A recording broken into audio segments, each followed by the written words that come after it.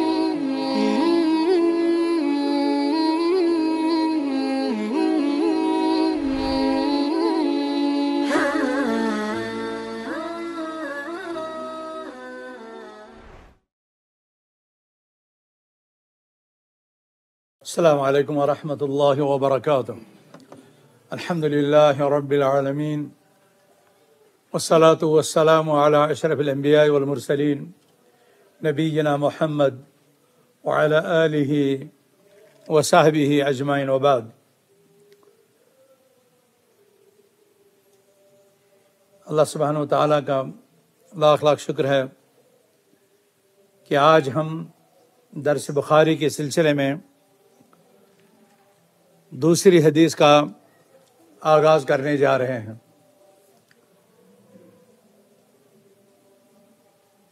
दूसरी हदीस जो इमाम बुखारी ने अपनी सही में किताब बदल खल्क में लाई है, कौन तालब इलम है जो मतन पढ़े?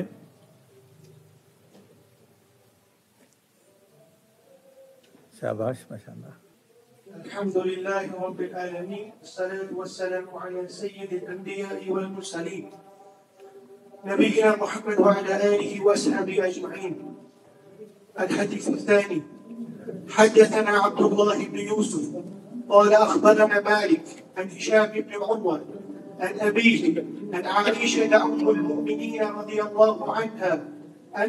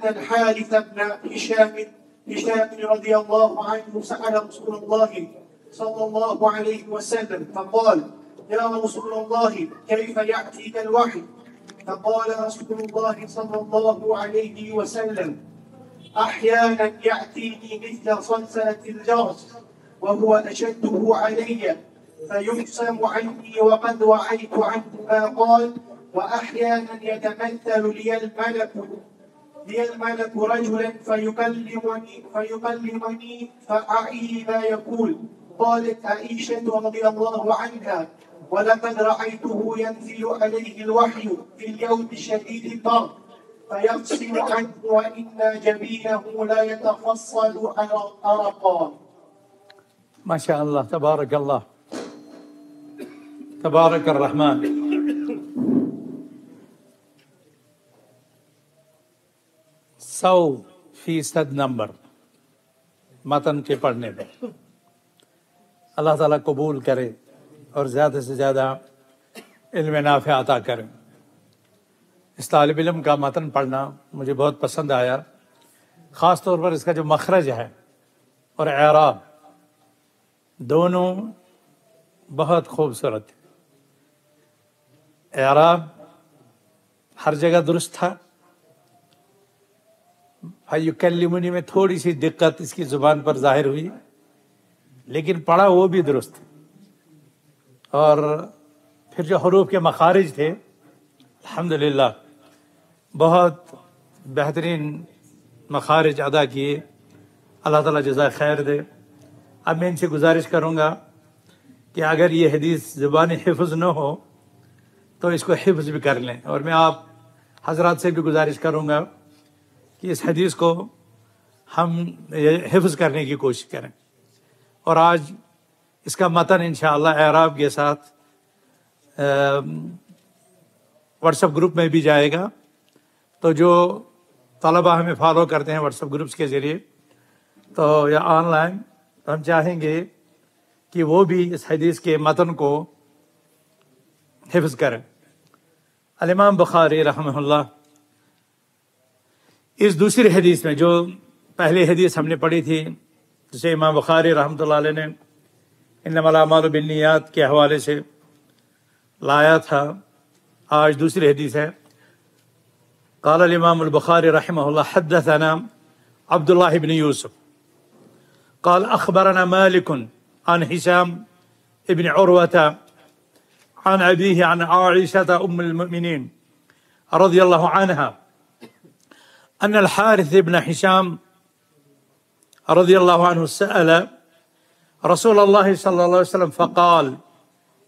या रसूल अल्लाह मैं इस बच्चे को देख रहा था ये या रसूलुल्लाह पढ़ेगा या या रसूल अल्लाह पढ़ेगा लेकिन इस जगह भी इसने सही पढ़ा या रसूल अल्लाह कैफ यातीक अलवह फ़काल रसूल वसल्लम अहयान यतीनी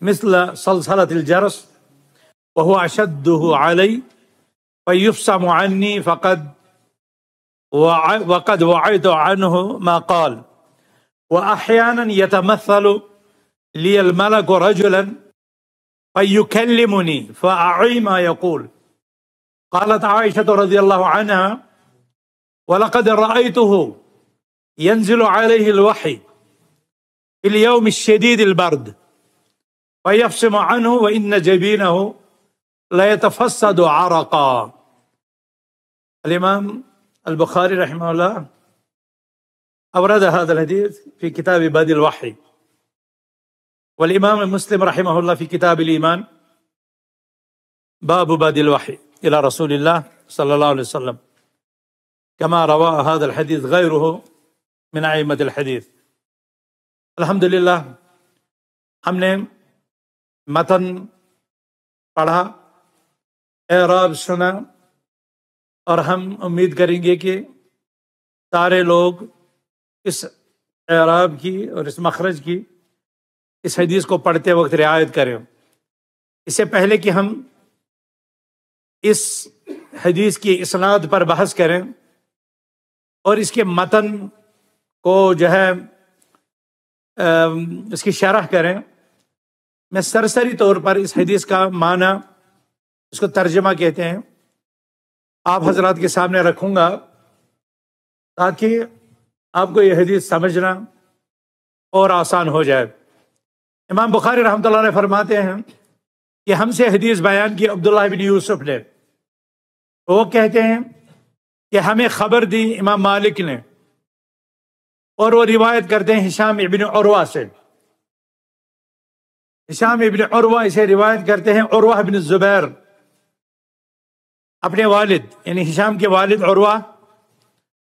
हिशाम अपने वालिद उरवा बिन जुबैर से इसे रिवायत करते हैं और वो अपनी खाला, उरवा अपनी खाला, हमारी और आपकी माँ, अमुल मोमिनी आयशा सिद्दीका रज़ी अनहा से रिवायत करते हैं। मैंने बताया औरवा अपनी खाला से, इसलिए कि औरवा जो है, असमा का बेटा था।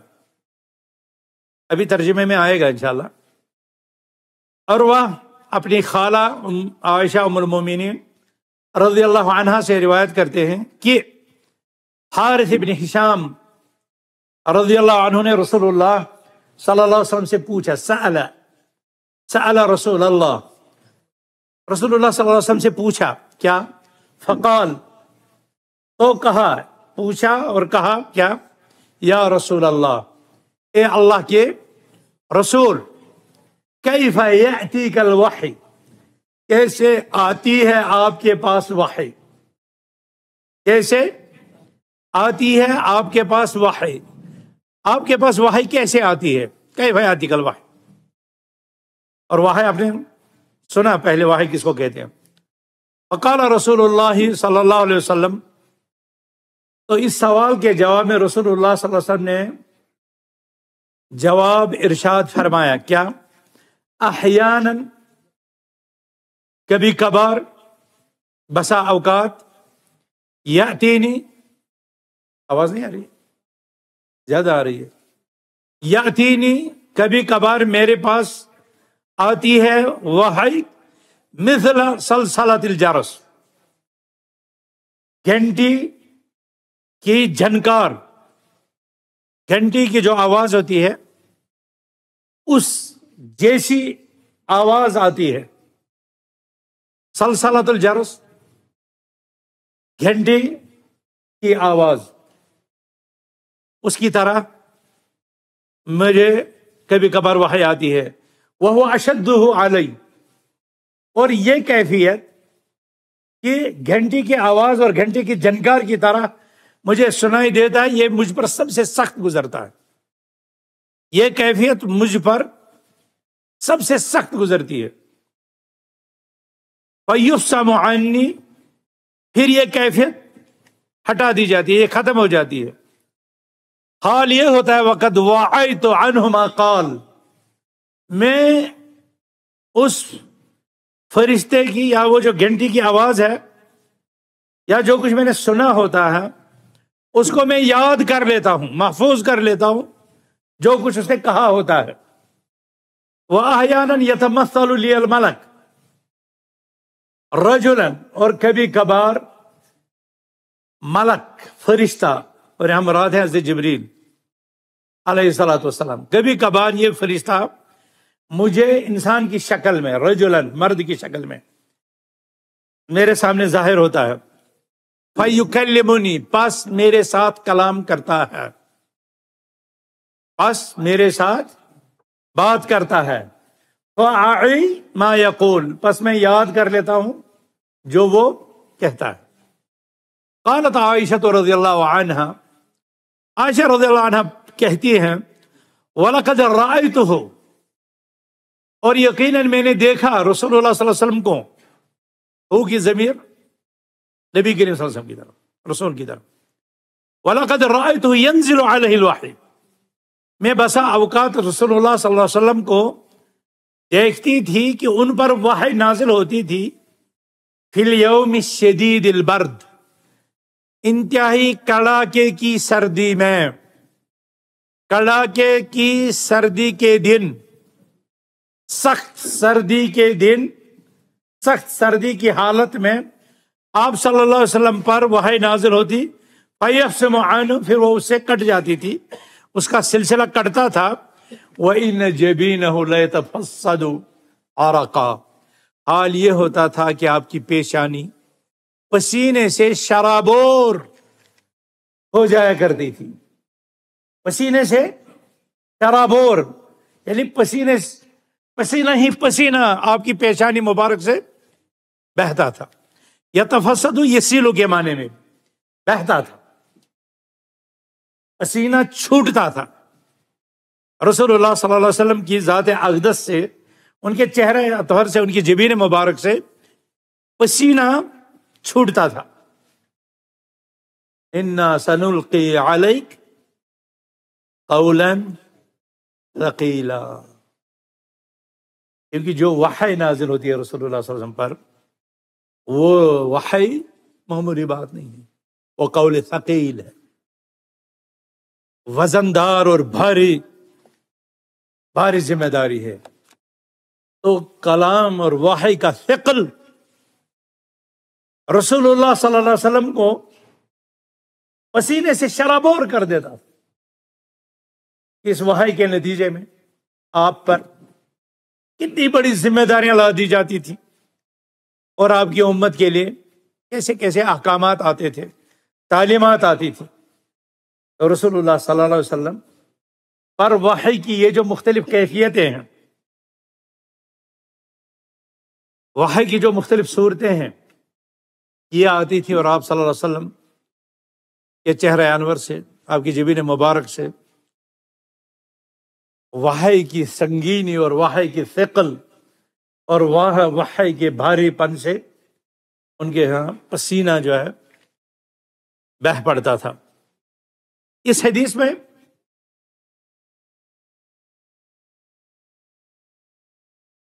दो तरह के,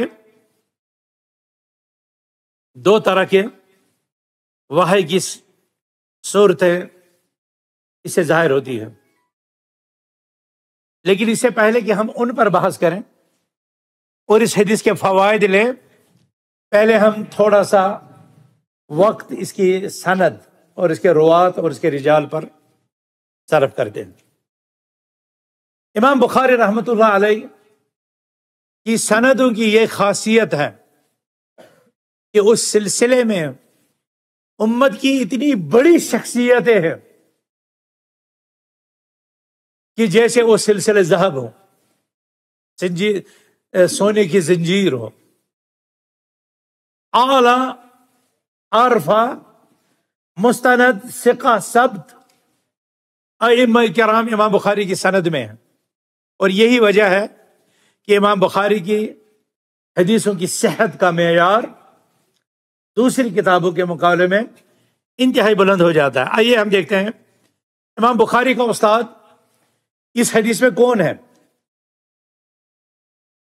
बस हाँ? अब्दुल्ला बिन यूसुफ।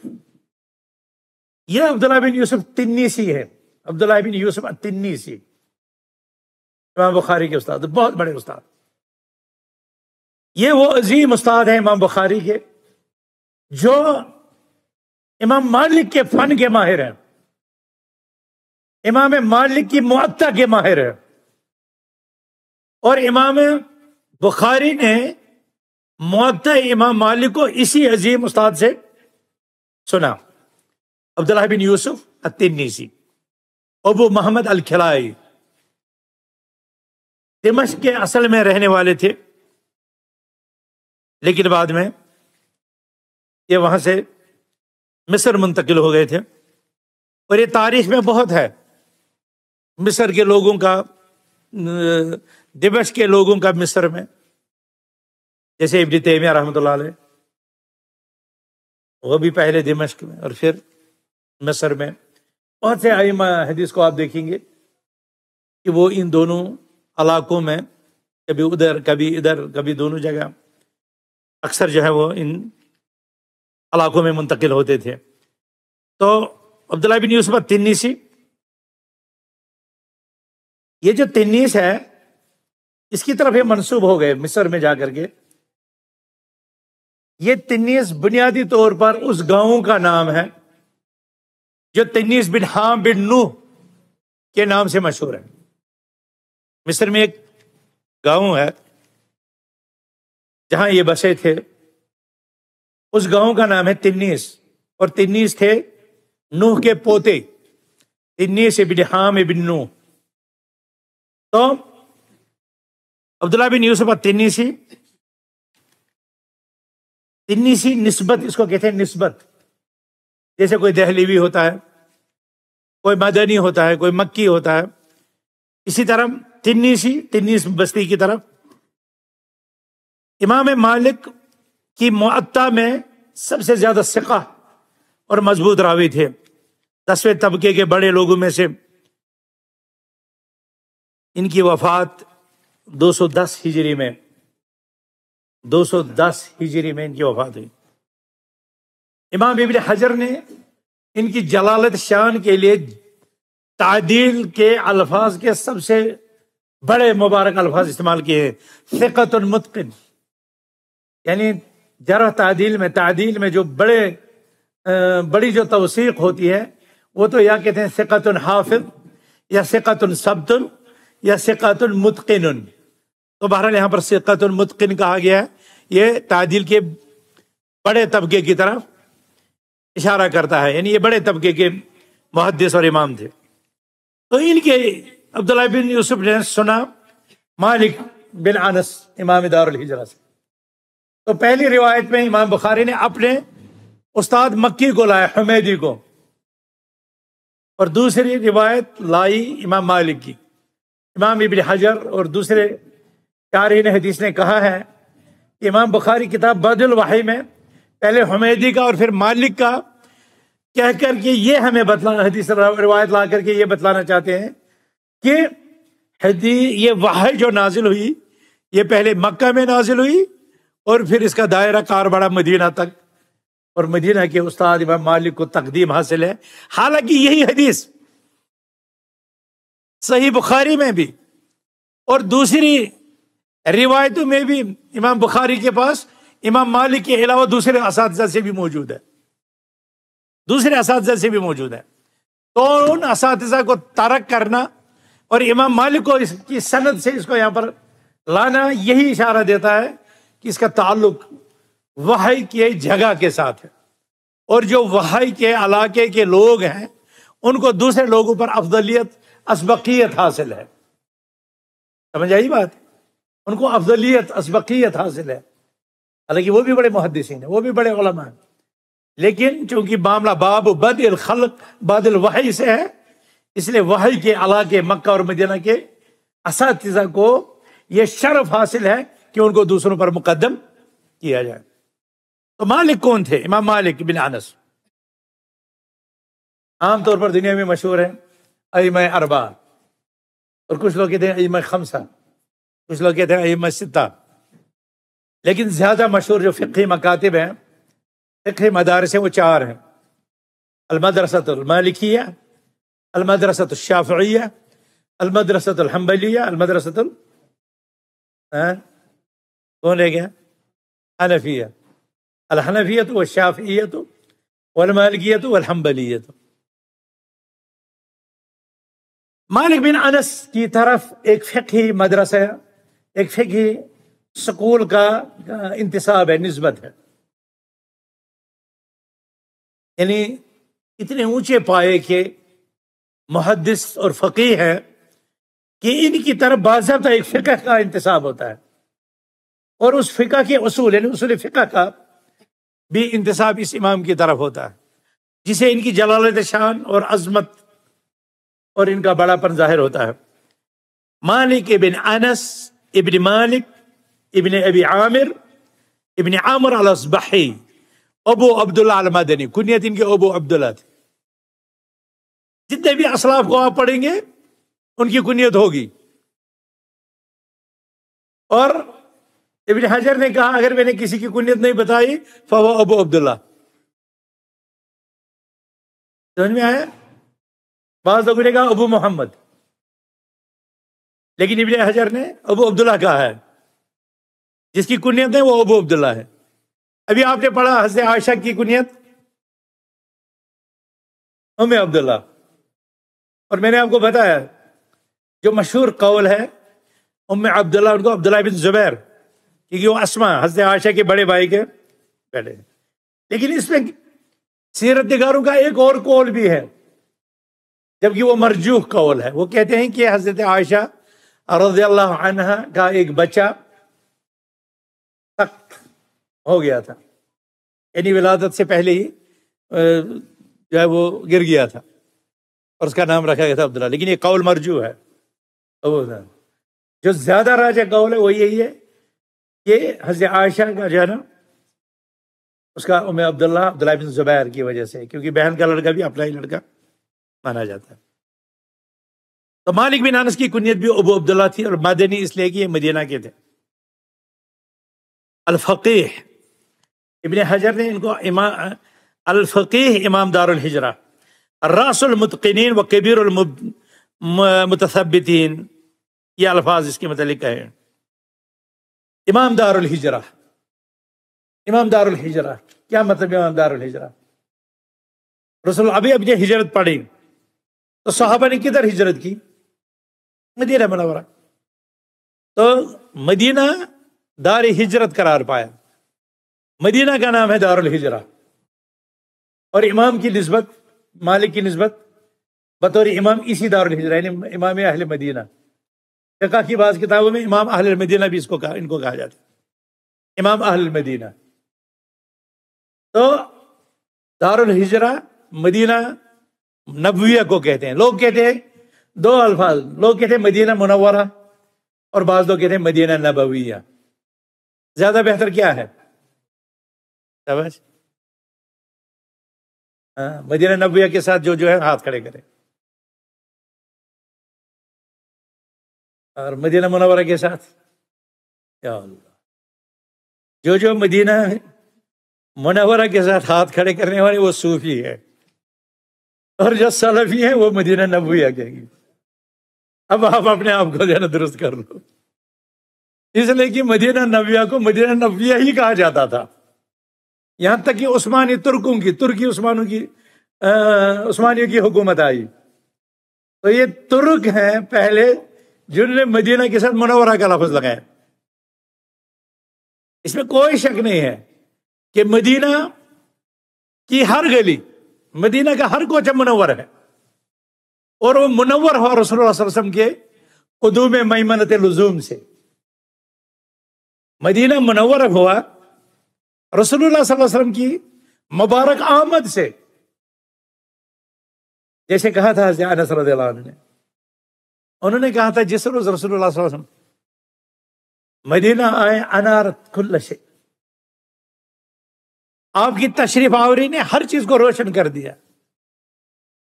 लेकिन लिखते हैं। फिर जिस दिन रसोल्ला वसल्लम इस दुनिया से इंतकाल कर गए, इंतकाल फरमा गए, अजलम अमिन कुल्ल शे मदीना की गली गली तारीख हो गई उसने। जिस दिन रसोल्ला वसल्लम तो मदीना तो मुनवर है ही। मदीना तो रोशन है ही। नबी अकरम की तशरीफ़ आवरी से, आपकी हिजरत से, आपकी तालीम से, आपके अखलाक से और आज भी मदीना जाने वाले लोग उस किरदार, उस अखलाक और उस नूर की झलक महसूस करते हैं। आप मक्का भी जाइए तो लोगों में थोड़ी सी सख्ती तबीयतों में। लेकिन मदीना जाएँगे तो हर मदीने वाला अपना जिगर, अपना सीना आपके लिए खोले हुए, वो कहेगा कि मेरे साथ आइए, मेरे साथ इफ्तार कीजिए, मेरे साथ बैठिए, कितने प्यार से, कितनी मोहब्बत से। तो उस अखलाक का असर मदीना मुनवर की अकूल और अजहान और दिमागों को मुअत्तर और मुनवर करने वाला है। लेकिन हमारे असलाफ इस मदीना की नस्बत रसोल्लामदीनतुल नबविया, या मदीनतुल नबी सल्लल्लाहु अलैहि वसल्लम। क्योंकि आप वसल्लम से पहले इसका नाम यफरब था क्या था? मैं कहाँ से कहाँ चला गया? अबू अब्दुल मदनी अलफ़ी इमाम दारुल हिजरा। इनके मुतालिक इमाम इबन हजर ने कहा, रासुल मुतकिन कबीर मुतसबितीन अतकाल बुखारी। इमाम बुखारी ने इमाम मालिक के मतलब कहा असानी मालिक अन्नाफिन इबन उमर। इसको बाज लोगों ने सिलसिले जहब कहा है। आप लोग ने सुना है सिलसिला जहब? सुना है? जब किसी सनद में मालिक हो, इमाम मालिक हो है? जब किसी सनद में कौन हो? इमाम मालिक हो, फिर नाफे हो, और फिर इबन उमर हो। अन रसूल तो इस सनद का क्या कहना? और आने वालों ने कहा, जिस सनद में अहमद बिन हम्बल, अन शाफी अन मालिक, अन नाफे, अन इबन उमर, ये तो सिलसिला जहाद है। सोने की लड़ी, सोने की जंजीर सिलसिला जहब जिसमें इतने बड़े मुहदे थे इतने बड़े इम्मा इतने बड़े फोका इस उम्मत के एक सनद में दाखिल है। तो ये मालिक, इमाम मालिक की अजमत है कि वो सिलसिले सनद का, सिलसिले जहब का, की एक कड़ी है। मात सनत सबीन इमाम मालिक रहमत चौरानवे में पैदा हुए थे। और एक सौ उनासी, वन सेवन नाइन, उनासी कहते हैं वन सेवन नाइन, एक सौ उनासी। एक सौ उनासी में इनकी वफात हुई। एक सौ उनासी। ये इमाम मालिक बहुत अजीम आलिम थे। रसूल रसोल की सुन्नत के मुतालिक, आप की अजमत के मुतालिक, इस दीन की हक्कानियत के मुतालिक इनके बड़े बड़े अकवाल हैं। और ऐसे अकवाल हैं जिनको आप बतौर कायदा लिलमन है जिस सलफी इस्तेमाल कर सकते हैं। इन्हीं का मशहूर कौल है लई यसलोहा आखिर हादिल उम्मा इल्ला व अव्वल इस इमाम ने कहा, इस उम्मत का आखिरी तब तक दुरुस्त नहीं होगा, जब तक न वही दीन फॉलो करेगा, जो इस उम्मत के पहले शख्स नहीं ये इमाम मालिक है जिन्होंने अलियम अकमतलकुम दीनकुम अतमम नियमती और रजीतुल्लकुम इस्लाम दीना के मतलब क्या कहा उसने कहा यौम दिन दीन यौम दीन वमा यकुन यौम दिन दीन फलन यकुन यौम दीन जो उस दिन जब आयत नाजिल हुई थी अलियम अकमतलकुम जो उस दिन दीन था वही आज भी यानी ज़ाहिर बात है एक सौ उनस्सी से पहले पहले इमाम मालिक ने यह बात कही होगी। जो उस दिन दीन था जब आयत नाजिल हुई, अलियम अकमतलकुम दीनकुम, फहुवल यौम दीन। वही आज भी दीन हो सकता है। वमा लम यकुन यौम दिन। दीना जो उस दिन दीन नहीं था, वो आज भी दीन। फल यकुन यौम दीना। वो आज भी दीन नहीं हो सकता। मुझे बताइए, अगर अहले बिदा अपने दावों को इस कौल पर तोले तो क्या उनकी कोई असलियत रह जाएगी? कोई असलियत? रह जाएगी। इमाम मालिक ने अलैह बड़े बड़े इस तरह के अकवाल, बहुत अकवाल। इनको एक शख्स आया, क्योंकि मदीना में थे हजाज भी फतवे पूछ रहे उम्र वाले भी। फतवा पूछ रहे एक शख्स ने पूछा, ए इमाम, मैं चाहता हूँ मदीना में अपने घर से अहराम बांधू। इमाम मालिक ने कहा, मीकात से। मदीना के मीकात का क्या नाम है, शाबाश? जुल्हलैफा सात मील दस किलोमीटर मस्जिद नबी से जुल्हलैफा से रसोल्ला अहराम रसोल्ला उस जगह से रसोल्ला ने अहराम बांधा एक शख्स कह रहा है इमाम मैं अपने घर से एहराम बांधना चाहता हूँ इमाम मालिक ने कहा आहर मिन है अहराम रसूलुल्लाह सल्लल्लाहु आप वहाँ से अहराम बांधो जहाँ से रसोल ने बांधा तो उस शख्स ने कहा, आप देखो जरा हमारे दौर की बहुत से लोग इस तरह की बातें करते हैं। कहा इनमा ही अमियाल। इनमा ही अमियालुन।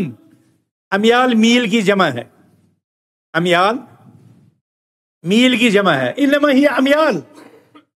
कहा है इमाम, ये तो कुछ मीलों का मसला है। क्या फ़र्क पड़ेगा इससे मैंने वहाँ से नहीं बांधा, यहाँ से बाँध लिया कुछ भी। इससे क्या फ़र्क पड़ता है? तो इमाम मालिक ने कहा अक्षय आलेकल फितना। अक्षय आलेकल फितना। मुझे खौफ है, तुम पर कहीं फितने में न पड़ जाओ। तो वो ताजुब से कहते अयो फितना दिन भी आदा अयो फितना दिन भी आदा इसमें कौन सा फितना है? ये कौन सी फितने वाली बात है? तो इमाम मालिक ने कहा, मुझे बताओ, इससे बड़ा फितना क्या होगा तेरे लिए? कि तेरे लिए वो चीज़ काफ़ी नहीं जो रसुल्ला ने की, और तू उसके मुकाबले में अपनी चीज़ पर अड़ा हुआ है। इससे बड़ा फितना क्या होगा? और इमाम मालिक का इशारा था फलियहदरिल्लदीन युखालिफून अन अमरे अन तुसीबहम फितना और युसीबहम अदाब अलीम है ना ये आयत याद तो याद कर लो ये मनहज अहल हदीस मनहज सलफ के लिए बुनियाद है अमरे उन लोगों को बचना चाहिए डरना चाहिए जो रसम के मुबारक हुक्म की मुखालफत करते हैं अनतसीब हम फितना इसलिए इमाम मालिक ने इसको कहा अक्षा अलकल फितना मुझे तुम पर फितने का खौफ है देखा अयो फितना दिन भी याद है इसमें फितने वाली कौन सी बात है कहा इससे बड़ा फितना क्या हो सकता है कि मैं तुम्हें रसम की सुन्नत बता रहा हूँ और तुम अपनी बात पर अड़ा हुआ है इससे भी बड़ा कोई फितना हो सकता है अलहदरिल्लदीन युखालिफून अन अमरे अन तुसीबहम फितना और युसीबहम अदाबन अलीम कि वो किसी फितने में या किसी दर्दनाक अजाब में मुबतला हो जाए, जो रसम के हुक्म की मुखालफत करे। तो इमाम मालिक रहमत को पढ़ो, उनकी सीरत को पढ़ो, उनके अकवाल जरीन को जांचो, पढ़ो, और देखो उन्होंने इस मनहज हक की तरवीज, इसकी तालीम, इसकी तफहीम के लिए कितना काम किया, कितनी कुर्बानियाँ दी, और इनके कारनामे क्या है? अब्बासी खलीफा मंसूर ने उनको लिखा कि उम्मत के लिए एक सिलेबस तैयार करो। तो उन्होंने अलमुअत्ता लिखी। ये मुअत्ता अहदीस, अकवाल साहबा, फताव साहबा और ताबीन पर मुश्तमिल है। तो मैं बता रहा था कि ये इमाम मालिक एक सौ उनासी में इनकी वफात हुई और चौरानवे में इनकी विलादत हुई है नबे साल की उम्र में। तो ये दूसरे शेख इमाम बुखारी की इस सनद में अब्दुल्ला बिन यूसुफ पहले उस्ताद और उनके उस्ताद मालिक बिन अनस और फिर इनके उस्ताद अब हिशाम इबिन और काला अखबर मालिक अन हिशाम इबिन और हिशाम इबिन और इबिन जुबैर इबिन अवाम अल असदी हिशाम इबिन और इबन जुबैर इबन अवाम आप जुबैर इबन अवाम ये नाम तो बहुत सुना होगा ना आपने सुना है? कौन है? कौन है? जुबैर इबन अवाम अहदुल आशारा अलमुबशरीन बिल जन्ना। ये उन दस कुछ नसीबों में हैं जिन्हें जन्नत की खुशखबरी दी गई है। इसीलिए कहते हैं अहदुल आशारतिल मुबशरीन अलाहुम बिल जन्ना। ये उन दस अजीम शान जलील कदर अजीम मरतबत सहाबा में से हैं जिन्हें इस दुनिया में ही जन्नत की बशारा दी गई सुन तिरमिजी में वो तफसील के साथ रिवायत है कि रसोल्ला ने फरमाया अबू बकर फिल जन्ना उमर फिल जन्ना उस्मान फिल जन्ना अली फिल जन्ना फिर बकिया जो छह हैं उनके नाम बताए और उन छह नामों में एक नाम था जुबैर जुबैर इबन अवाम इनके पोता हैं हिशाम। इबन और हिशाम के बेटे हैं, जुबैर के बेटे हैं और जुबैर की जवजा थी असमा बिनते अबी बकर। उनकी बतन से अब्दुल्ला और उर्वा पैदा हुए।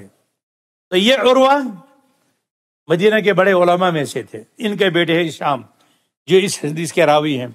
हिशाम इबन औरवा इबन जुबैर इबन अवाम अल असदी फ़िकतुन फ़की रुबा दल्लस ये भी फ़िका हैं फ़की हैं कभी कभार तदलीस करते हैं पाँचवें तबके से हैं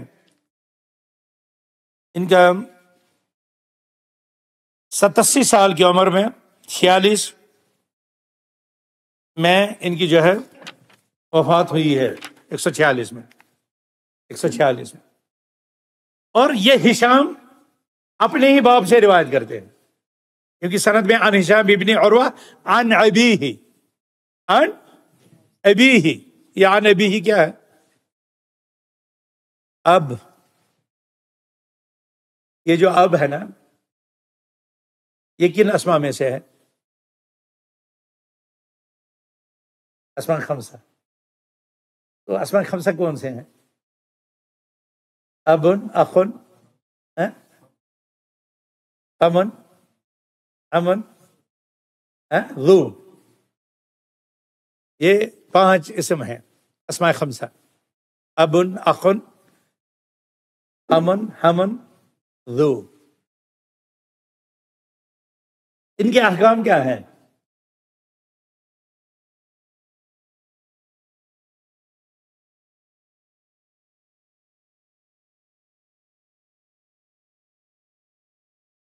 माशा माशा बहुत खूब। असमा खमसा कहते हैं हालत रफ़ा में, ये वाव के साथ और हालत नसब अलिफ के साथ और हालत जर में या के साथ। जैसे कहते हैं राय तो अबा का जा अबू का मरर तो बे अबी का है ना? अबाक, अबूक, अबीक। फतह की हालत में आएगा अलिफ के साथ राय तो अबाक और फ़ाइल होगा जा अबू का और अगर मजरूर होगा तो मरर तो बी अबी का सलम तो अला अबी का हरूफ जर जो आते हैं फिर उसके बाद असमाय खमसा इन पाँच इसमों में फिर या आ जाता है मजरूर की हालत में माशाल्लाह बहुत खूब अन अबी ही हिशाम इबन उरवा अपने वालिद से रिवायत करते हैं। और वो वालिद है। हाँ, कौन है? इधर से कोई आवाज़ आई थी। ये जो हिशाम बिन उरवा जो है ना इनके वालिद कौन है? शाबाश। जुबैर जो कहता ना वो हाथ खड़ा करे। एक और। हाँ। आप क्या कहते हैं? अरवा हिशाम इबिन उरवा अन अबी ही जब हम कहेंगे हिशाम इबिन उरवा, अपने बाप से रिवायत करते हैं। तो वो बाप कौन होगा? वो उरवा होगा। जुबैर नहीं होगा। जुबैर तो उर्वा का बाप है। समझ में आया? हिशाम का बाप उर्वा उर्वा का बाप जुबैर। और जुबैर का बाप अलावाम लेकिन जब हम कहेंगे हिशाम इबिन उर्वा आने भी तो वहाँ पर यही उर्वा है जो हिशाम का, ये बिल्कुल साथ में है। तो ये उर्वा, फिर रावी है हिशाम के बाद। तो अब हमें उर्वा का पढ़ना है, उर्वा कौन थे? उर्वा जो है, इबन जुबैर इबन अवाम, इबन खुवाइलिद अल असदी अबू अब्दुल्ला अल मदनी अब ये इमाम मालिक के साथ एक चीज़ में शरीक हो गए। इसमें है? कुन्नियत में? इमाम मालिक की भी कुन्नियत थी अबू अब्दुल्ला मदनी और इस और बिन जुबैर की भी कुन्नियत है अबू अब्दुल्ला अल मदनी और आप में से कौन है जो अबू अब्दुल्ला है? है कोई? किसी को नीयत है मुस्तकबिल में? छोटे जवानों को? क्योंकि अल्लाह को ओ, माशाल्लाह, एक नौजवान एक नौजवान खड़ा है। अहबुल अल्लाह अब्दुल्ला अब्दुलरहमान अल्लाह को जो सबसे प्यारे नाम है, वो है अब्दुल्ला और अब्दुलरहमान। अपने बच्चों के लिए अच्छे नाम चुनो। अब्दुल्ला अब्दुलरहमान या सबसे अफजल नाम है। लेकिन आज सकते हैं। टिंकू, पिंकू, हैं? जब कहीं से गुजरते हैं मोली साहब मोली साहब, एक मिनट, क्यों भाई? बच्चा हो ऐसा नाम बताना। लेकिन मोली साहब, नाम ऐसा होना चाहिए जो किसी और को ना हो नाम तो फिर जब ऐसा नाम रखा जाता है जो किसी और को ना हो तो बच्चा वो कारनामे अंजाम देता है, जो किसी ने हमें क्या देखना है? हमें कौन से नाम लिखने हमें अच्छे नाम लिखने जो अल्लाह को प्यारे हों, सबसे प्यारे हैं अब्दुल्ला और अब्दुल रहमान हम क्यों इस चक्कर में पड़े कि हर चीज़ नहीं हो? दुनियावी इजाज़त में नई चीज़ों को देखो, कोई हर्ज नहीं। लेकिन दीन में जितना पुराना चले जाओगे, उतना तुम्हारे लिए बेहतर है। दुनिया के एतबार से हर नई चीज़ ज़्यादा मुफीद है, नई ईजाद लेकिन दीन के मामले में जितना पीछे जाओगे, उतना बेहतर है। और जब रसोल्ला तक और आपके सहाबा तक पहुँचे तो फिर उससे, उसके उसके बाद क्या चाहिए? उसके बाद तो कुछ है ही नहीं। और आजकल हमारी सोसाइटी में उन नामों के लिए बहुत कम जगह है। अब मौलवी साहब, ऐसा नाम जो दुनिया में किसी को ना हो। फिर एक ने कहा था, मैंने लिखा है, मैं मौली साहब के पास गया, उसने जो है किताब खोली किसी चीज़ पर हाथ रखा। फिर कहा, तुम्हारे बच्चे का नाम शहरूत। शहरूत? ये क्या हुआ? जादू है या जिन है? शहरूत? जादू का नाम है या जिन का नाम है? और ऐसे मौलियों से बच्चों के नाम भी नहीं रखवाने चाहिए, जो किताब खोल करके बताए। और बाज अबजदी निकालते हैं। अबजद से। कुछ लोग शादियों की डेट भी अबजद से निकालते हैं। कुछ लोग बच्चों के नाम भी अबजद से निकालते हैं और ये बोल जाते हैं कि इस अमल से वो ईमान से हाथ धो बैठते हैं। हज़रत अब्दुल्ला बिन अब्बास रज़ियल्लाहु ने फरमाया, मन तअल्लम इल्म अबाजद मिन खलाक। मन अब अबीजाद इल्म अबाजाद अलैसा लहु इंदल्लाहि मिन खलाक जो अबजदी इल्म सीखेगा उसको अल्लाह के पास कोई हिस्सा नहीं यानी वो ईमान से गया हाथ धो गया और आज भी कितने लोग हैं जो सिर्फ़ इन्हीं अबजदी हरूफ को देख करके नाम निकालते हैं अबू अब्दुल्ला अलमदनी कौन थे इमाम मालिक भी और अबू अब्दुल्ला मदनी थे इस रिवायत के ये रावी, हज़रत और इबन ज़ुबैर, इबन अवाम इबन खुवाइलिद अल असदी अबू अब्दुल्ला मदनी फ़िका फ़की तीसरे तबके के मशहूर फ़की हैं। चौरानवे हिजरी में इनकी वफात हुई और ये पैदा हुए थे हज़रत उस्मान की खिलाफत के शुरू में और बिन ज़ुबैर। और ये पले हैं हज़रत आयशा के पास।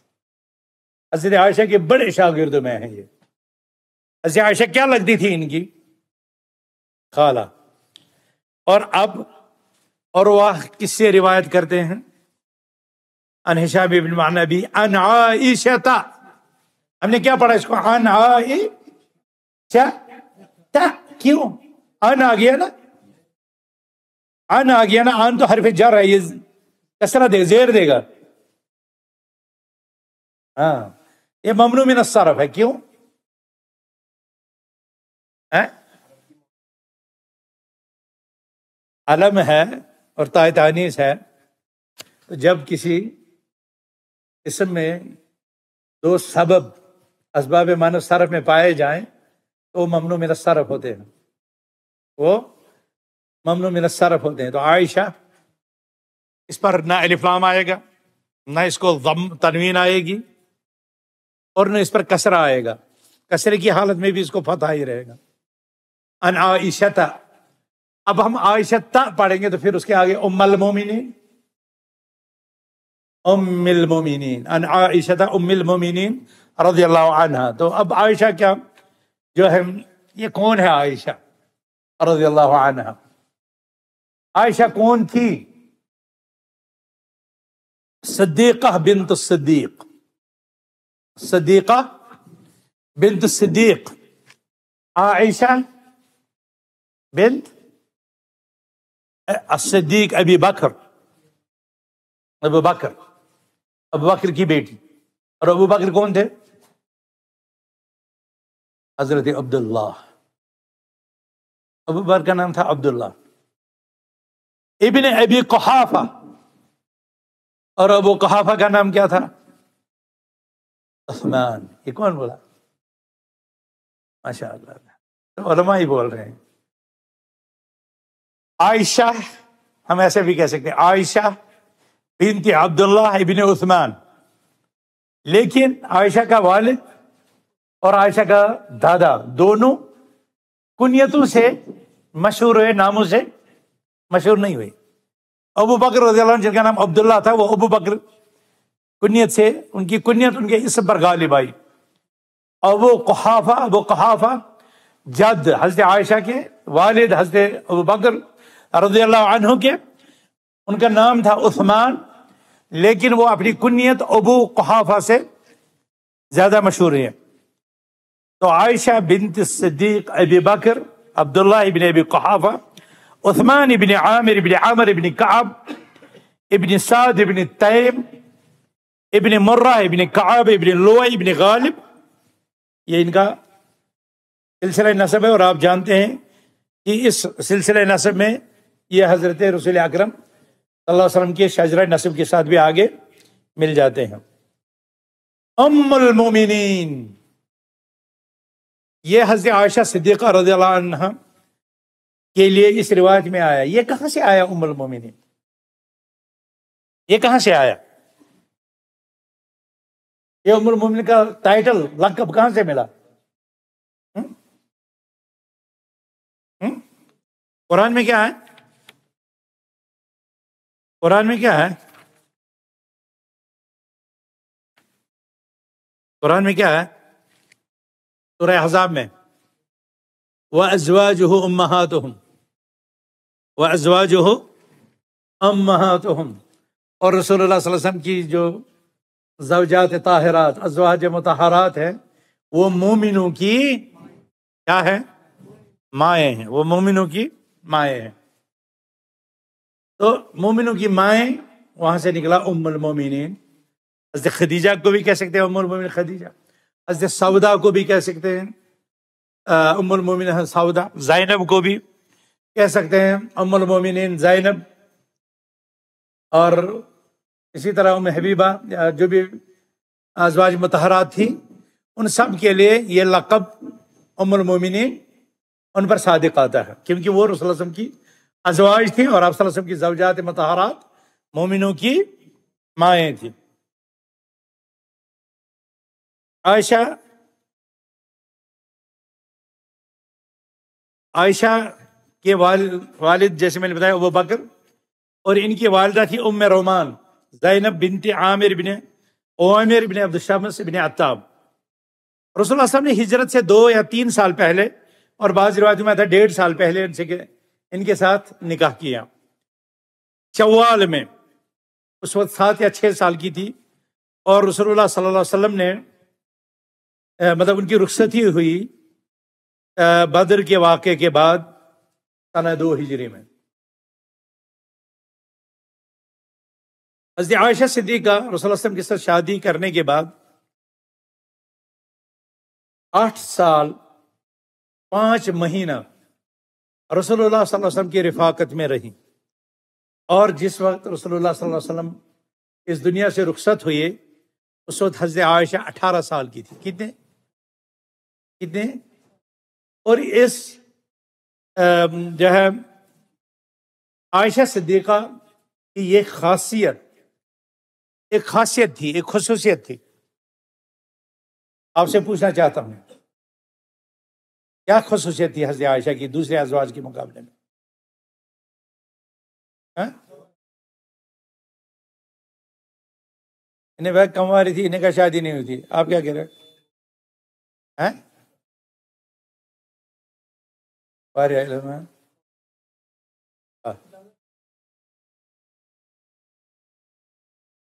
माशा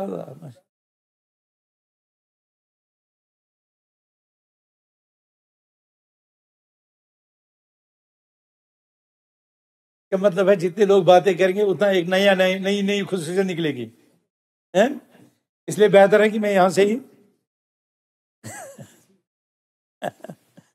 ये वाहिद खा मतलब जवजा मतहरा थी रसूल की, जो बाकरा थी, कंवारी थी।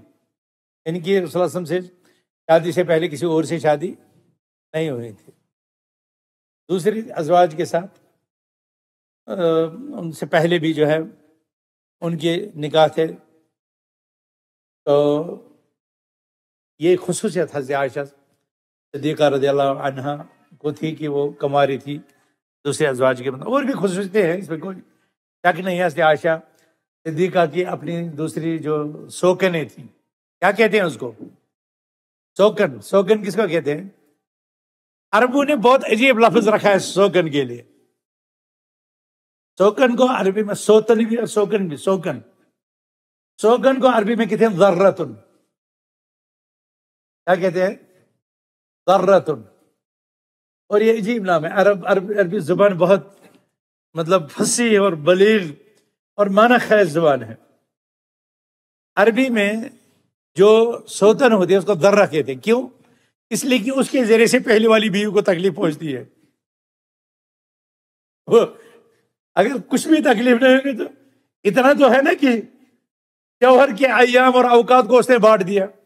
जौहर की तवज्जो को उसने बांट दिया। तो जिस बीवी को सारा वक्त, सारा हिस्सा अपने शौहर का मौजूद था, अगर वो बढ़ गया तो इससे बड़ा नुकसान क्या है?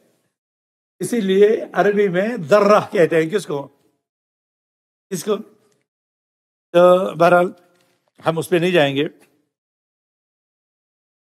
और इसीलिए आप लोग बड़े अमन पसंद शरीफ सादा लोग हैं। आप लोग अपनी बीवी को तकलीफ़ नहीं देना चाहते।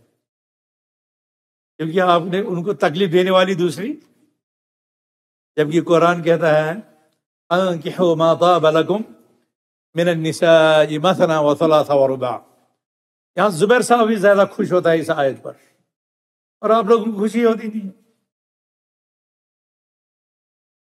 अल्लाह तौफीक की अमल की भी तौफीक है कुरान की ये आयत मैं आपको बताऊँ इस आयत के मुतालिक ये अरबों को इतनी प्यारी लगती है ये आयत कि मैं मक्का में हज प्रोग्राम रिकॉर्ड करा रहा था रेडियो पर तो तीन दफ़ा मुझे रोक लिया इंजीनियर ने स्टूडियो इंजीनियर ने। उसने कहा डॉक्टर आपकी आवाज़ अच्छी नहीं लग रही। जरा पढ़ो दोबारा, ट्रैक करो।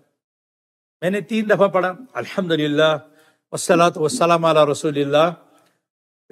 साउथ कमोजैन आपकी आवाज़ ज़्यादा अच्छी निकल नहीं रही है, जरा कभी वो माइक को चेक कर रहा है, कभी मेरे साउंड को चेक कर रहा है। तो ये तीन दफ़ा उसने कहा, मैंने पढ़ा, बिस्मिल्लाह वसलात वसलाम अला तो वो कह रहे सोत मोजैन।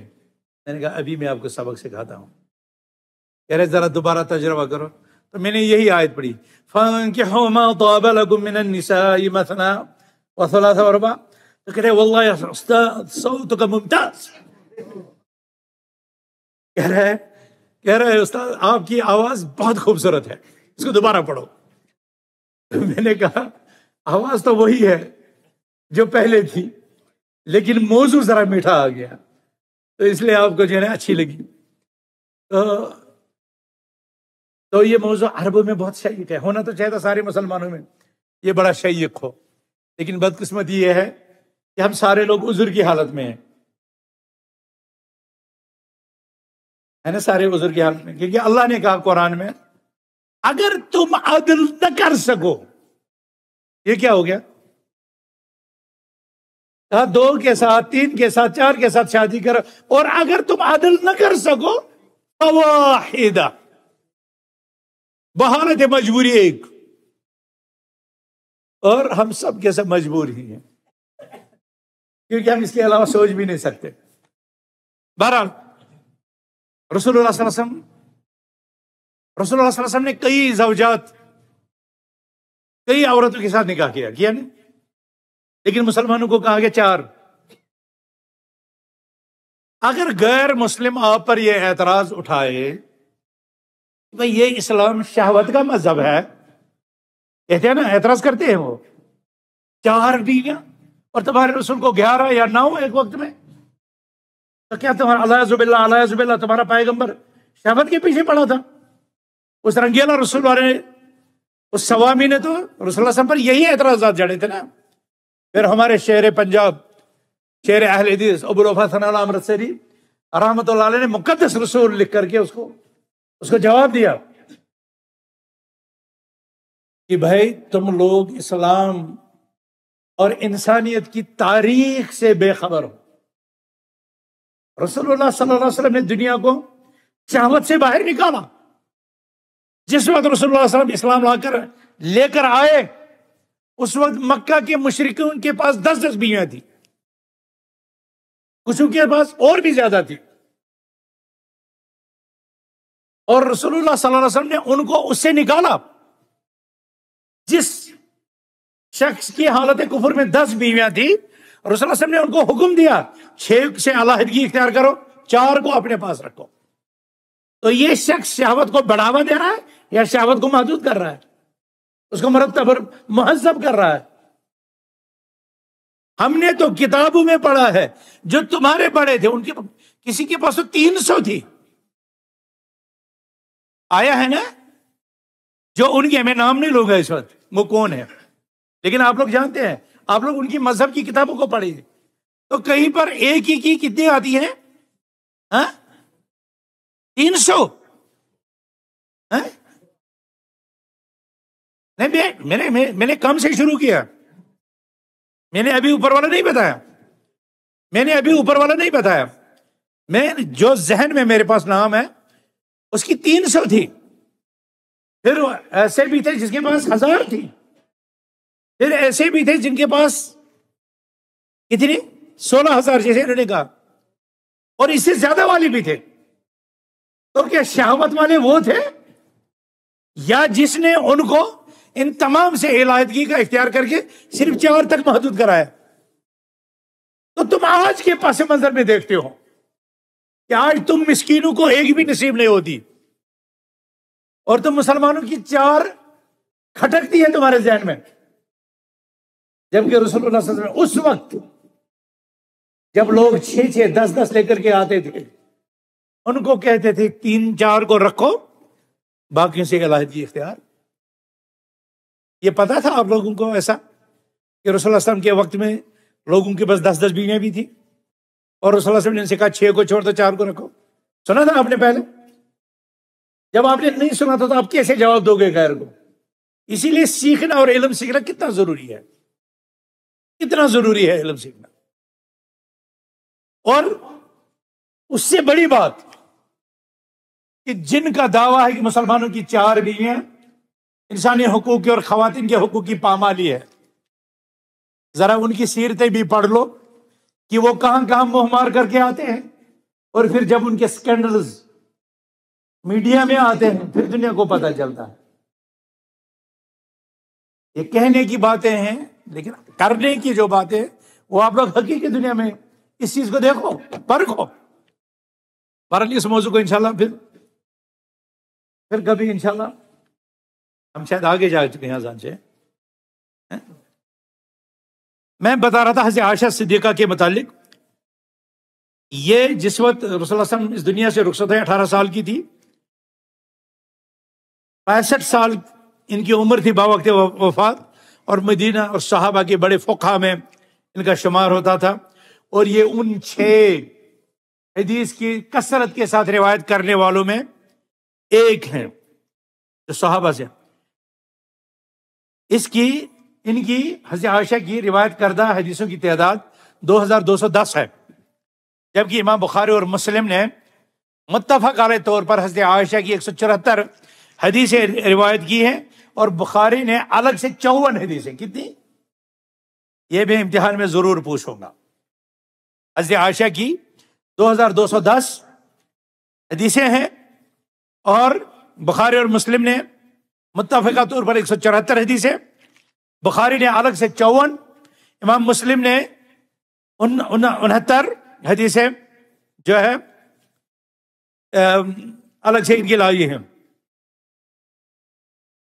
ये तकरीबन सत्तावन, अट्ठावन, उनसठ, दो तीन कौल हैं इनकी वफात के मुतालिक, और उन्हें हुक्म दिया मुझे वितर के बाद वकी में दफन करना, और इनका नमाज़ जनाज है, अबू हुरैरा रज़ी अल्लाह ने पढ़ाया। हज़रत यही जो उर्वा है उनके वो कहते हैं हज़रत आयशा तमाम लोगों से ज़्यादा कुरान को, हदीस को और तिब को और शहर को जानने वाली थी। यही वजह है कि जब मदीना में, गजवात में सहाबा जख्मी होते थे तो हज़रत आयशा उन उम्मत की मोहतरम खातन में होती थी, जो जख्मियों की मरहम पट्टी जो है करती थी। बहरहाल उम्मुल मोमिन उनको कहा जाता है और ये उम्मुल मोमिन हम पर वाजिब करता है कि हम इन महातुल मोमिन का एहतराम करें उनके साथ हुसन सलूक करें और ये अकीदा रखें कि रसोल की वफ़ात के बाद किसी भी जवज मतहरा के साथ किसी भी उम्मत का निकाह हराम है। आ, तो इसके बाद सिर्फ़ एक रह गया अलहारिस इबन हिशाम जिन्होंने रसोल्ला से पूछा, ये थे Alharith ibn Hisham ibn Mughira, ibn Abdullah ibn Umar, ibn Makhzum, Abu Abdullah Rahman Almakki. अब मैंने तब तक अबू अब्दुल्ला मदनी के बाद की थी, अब यहाँ पर अबू अब्दुलरहमान अलमक्की भी आ गया। तो ये फतेह मक्का के दिन मुसलमान होने वालों में से थे। शाम में हज़रत उमर की खिलाफत में शहीद हुए। इनका ज़िक्र सही सही में है ख़ास और बुखारी में इसी रिवायत में है। तो ये तो हमारी सन, जो है, सनद आज मुकम्मल हुई इस हदीस की और इस हदीस का मेरा मफहम भी आपके सामने रखा। इन कल हम इस हदीस की रोशनी में वाह की किस्मों पर और इसके चंद फवाद पर भी आइंदा दरस में बात करेंगे और फिर दूसरी हदीस को जो है शुरू करेंगे। अल्लाह से दुआ है कि अल्लाह ताला हमें इल्म नाफ़ अता करे। अपने साले की तोफ़ी अदा फरमाएँ। हमारे जमा होने को अल्लाह अपनी रज़ा के लिए कबूल फरमाएँ और हमारे अमाल में अखलास अता करें, रियाकारी और शहरत तलबी से अल्लाह ताला हमें और आप सबको बचाए। अकुल काउलिहादा वस्तफ़िरमिन इन तवाद करीम मलिक बर्रबरफ़रहीम असल वरहमल वर्का